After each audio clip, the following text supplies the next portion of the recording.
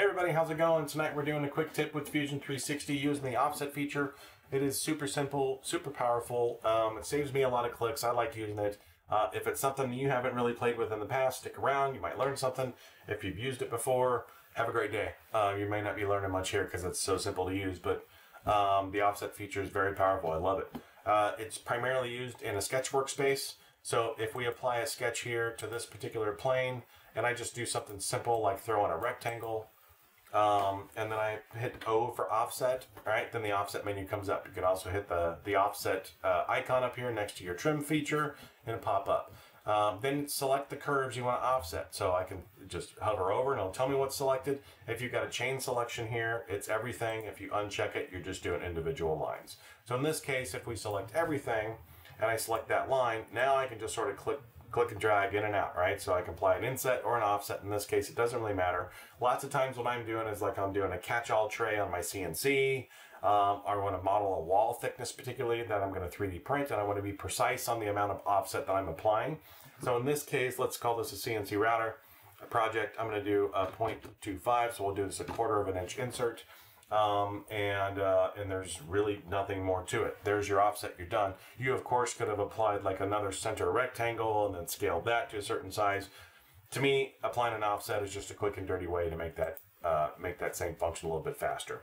So from here, if I do an E for extrude and go ahead and bring this up to a 0.75 inch board, and then an E for extrude here, and bring the sketch back to life and I pop this up to let's just call it 350 thousandths. So now I've got a, a, you know an easy little tray that I can go ahead and throw on the CNC and run some toolpaths on it.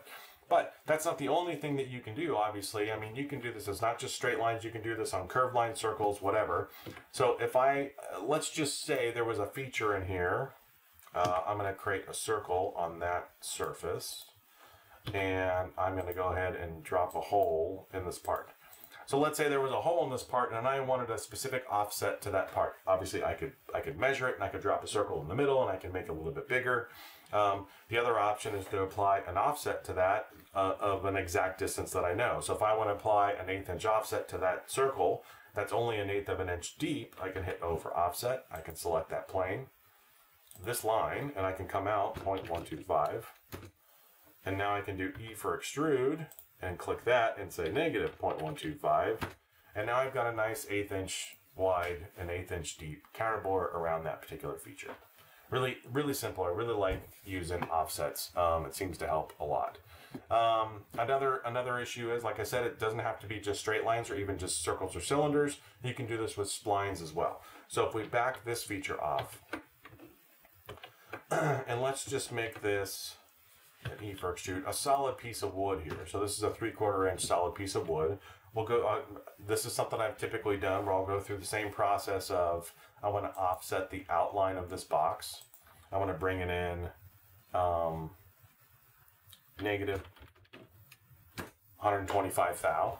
And then I also want to apply some T-splines to give this, maybe I'm doing something topographical here, right? So um, we'll start here and we'll come out. We'll do a couple of curves, something, whatever, organic, quote unquote, and hit the checkbox. So now I can apply an offset to this line as well, to this particular shape. Hit O for offset.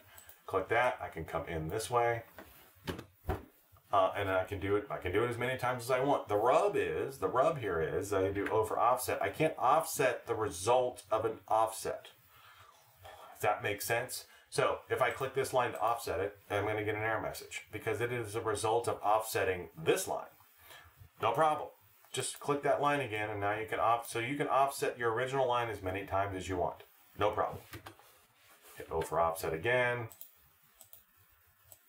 Make this a little bit longer. And you can see that the geometry of the shape changes uh, ever so slightly the farther away you get, right? Or if you come in this way, it's changing it um, and, and accentuating the curves is what it's doing, right? So I'm going to move this out a little bit. And let's say I'm going to go ahead and do this on the other end. I'm going to do another T-spline over here. And hit OK on that. I'll O for offset there and bring this out. O for offset again, and I'll bring it out. Come on, one more time. Now I've got this solid block of wood with several designs on it, so now I can really do some step down patterns that I really want. So if I take this one and this one and E for extrude, whoa boy, I hit the wrong button. Hit this one and this one and hit E for extrude and do negative, I'll call that one an eighth, bring the sketch back. I hate it when it does that. And I'll select this shape and this shape and do E for extrude and I'll negative that quarter of an inch and I'll do this one and this one and E for extrude and I'll do that one at negative 400 thou. And then this one, I'll drop it to E for extrude negative, um, 0.5. And then this middle piece, I'm gonna E for extrude and I'm gonna go ahead and negative that to all the way to 600 thou. So now I've got a nice shape, design, whatever. If I turn the sketch off, so now you can see so there's the sort of the quick and dirty power of offsets, right? To, to make something kind of cool and unique um, right off the bat. Um, so there you go. That's really kind of all I wanted to go after tonight. It's a really simple feature to use. Um, I don't know how many people are using it. I like to use it a lot. So anyway, I hope I hope this is helpful to somebody out there. And uh, like and subscribe, and I'll see you soon.